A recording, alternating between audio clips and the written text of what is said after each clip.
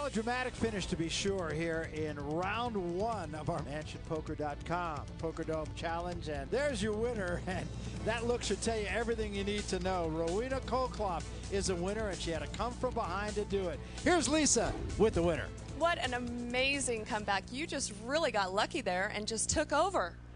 Yeah, I mean, it just totally changed around. I just like when we got to heads up with Jonathan, um, he just had so many more chips. It was quite like daunting. But um, Right.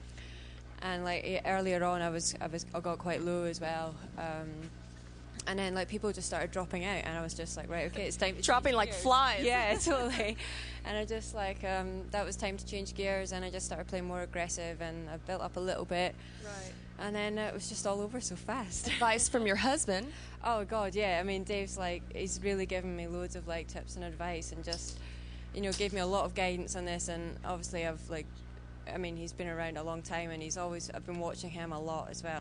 We will see Rowena back week seven. Back to you, Barry. Yeah, looking forward. She's got to get a big wallet now, though, Michael, to fit that check in there, don't you think?